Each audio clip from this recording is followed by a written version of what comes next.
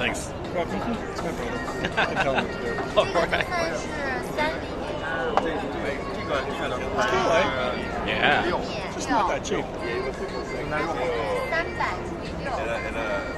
længere op og bare til It's pretty nice though.